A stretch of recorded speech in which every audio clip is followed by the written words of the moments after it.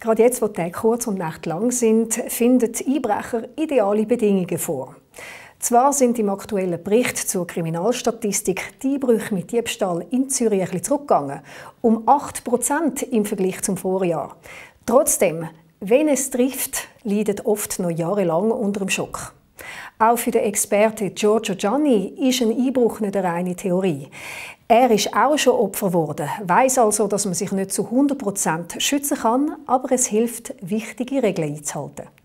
Also sicher mal, dass man alle Fenster zu hat. Und wenn die Kippfenster offen sind, dann ist man auch daheim. Ja, nicht fortgehen mit gekippten Fenstern. Das ist eine Einladung für einen Einbrecher. Selbstverständlich immer die Türen zu äh, machen, also zu schließen. Man könnte ja im Keller unten sein oder basteln oder im Zimmer Fernsehen schauen. Also da kommen die Brecher auch rein. Das sind sicher mal die wichtigsten Punkte. Bringen moderne technische Massnahmen etwas? Also es gibt sicher Alarmanlagen. Äh, die sind natürlich teuer und, äh, ja, und aufwendig.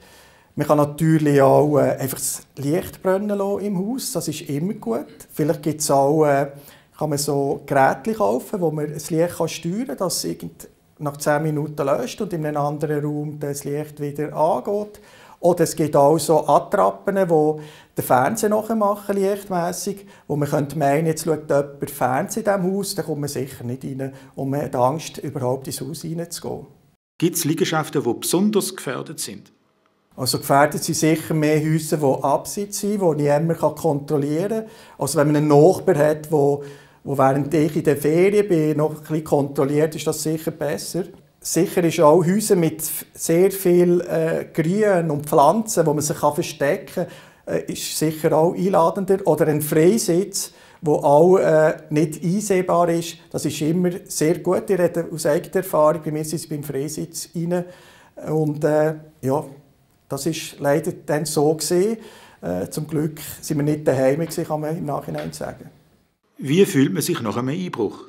Also das Gefühl ist sicher äh, nicht optimal, weil es wirklich alles durchnullt war. Und nur schon, dass jemand die Ware in den Finger genommen hat, äh, ist schon ein ganz komisches Gefühl. Ich habe zum Glück eine Frau, die nicht Angst hat. Ja, auch nicht Angst, also kann man damit leben. Aber ich habe schon gehört, dass gewisse Leute fast müssen oder zügelt sind, weil sie einfach das nicht, nicht mehr erleben wollen und einfach Angst hatten, in diesem Haus zu leben.